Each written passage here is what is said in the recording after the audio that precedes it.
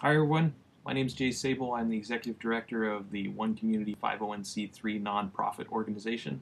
This is video blog number 7 and I'm reporting in for the activity of One Community for the week of April 7th. Everything that we've uh, accomplished that is a visible representation of our progress in creating an open source project launch blueprinting everything necessary to create self-sustainable, self-sufficient, and self-replicating teacher demonstration villages, cities, and communities to be built around the world.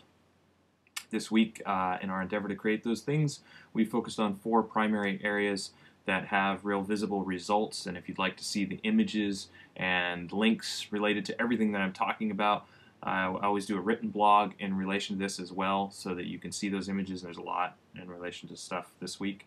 Uh, and the, that written blog is in the description down below if you're watching this on YouTube. So uh, the four areas that we uh, made serious, significant progress on this last week has been food infrastructure, uh, Sego Center City Hub, Education for Life program, and our open source time tracking application, which is going to be a huge aspect of what it is that we're doing. So in the food infrastructure aspect, we have completed our site plan for three different Walipini designs. Two of those are aquapinis. One is a large-scale food production. The other one's a Zen aquapini, more for a personal use and growing a diversity of food. We've got uh, and then traditional Walipinis as well. And so we've got the whole site plan done for that, and we've got the uh, the first generation designs, uh, architectural plans for the Zen Aquapini as well. And you can see pictures of all that in the written blog. On the Sego Center, um, we've made continued progress with our CAD details on that, including fourth floor bathrooms, uh, some space planning in the social dome, as well as a laundry, uh, not laundry, a little cleaning closet addition. And uh, we have one more thing to do on that, which is the addition of uh, another emergency exit. And we'll be on or back to focusing on 3D while we wait for mechanical, electrical, and plumbing engineering. On the uh, Education for Life program, we have we got tons happening behind the scenes, but things that you can see right now, click on and see right now. We have two more pages that have been added to the website, two more curriculum pages that have been added.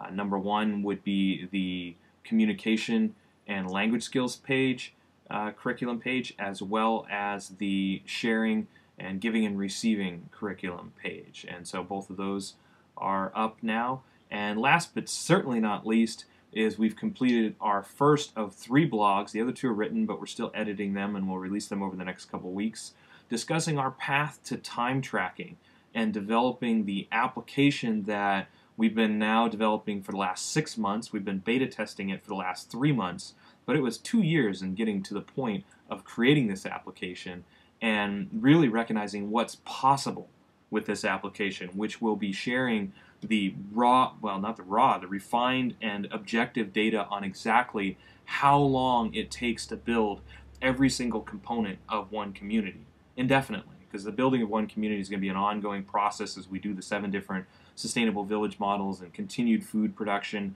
and infrastructure and continued energy infrastructure, all these different details. And so we're creating an app specific to tracking that and then plugging other people into that application as well, other communities following in our footsteps, using our open source blueprints, and plugging them into that app as well so that they can deliver additional data. And we can collect this as a global collaborative of all of the different communities and villages and cities working together and showing, hey, it took us this long to build this version, it took us this long to build this version. And on top of that, being able to collect objective data on exactly what this definition, this idea of fulfilled living, this more more enriched living experience, this more fulfilled living experience. Well, what does that mean? Well, we'd like to provide objective data on that and say, hey, this means this many hours of personal growth. It means this many hours are actually invested in building and evolving, and this many hours are actually invested in the administrative aspects of it, and, and really run those numbers and refine those numbers and be able to provide that data which I don't think there's anything really in existence right now doing that. And so, as one community continues to move forward and continues to open source and free share everything that we've done, we're super excited to be able to now share this application. And so, that blog, this blog is the first of three discussing our process to creating this application. And at the bottom of the blog now, and I'll include it in the in the uh, in the blog discussing this as well.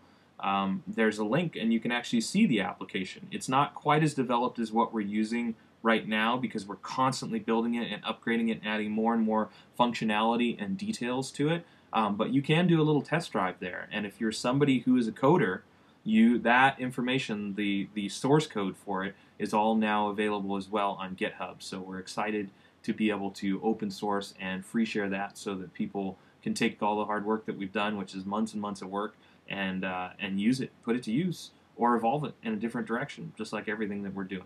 So that's my update for the week of April 7th, 2013. And uh, as always, thanks for everybody that's following our project. Thank you for all of our folks that are connected with us on Facebook, on our Facebook updates page. Thanks for everyone that's following us on Twitter. And if you love what we're doing, you want to support us, of course, please like this video, click that like button, share this video. We love that too. Send us wonderful emails, make comments, and uh, and and feel and get involved. Our project is always looking for people to get involved. We're always accepting applications for new Pioneer members, the people that are going to move onto the property and build everything that is one community.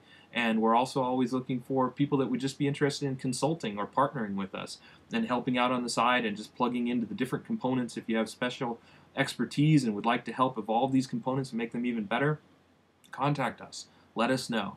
And of course, because we're open source, because we're free shared, and there are no limitations of patents or copyrights on anything that we do, by all means, if you like what we're doing but would like to do it differently, or if you like what we're doing and feel you can do it better, take the information that we put out there, use it, apply it, take it in a different direction, take it in a better direction. Bottom line is what's most important to us is to really spread these ideas, to get the information out there, and move towards the future that we believe is inevitable and the shift that is happening right now which we're so honored and, and uh, it's just such a pleasure to be a part of. And so, with that, I'm signing off. Until next week, thanks always for following our project and have yourself a beautiful day.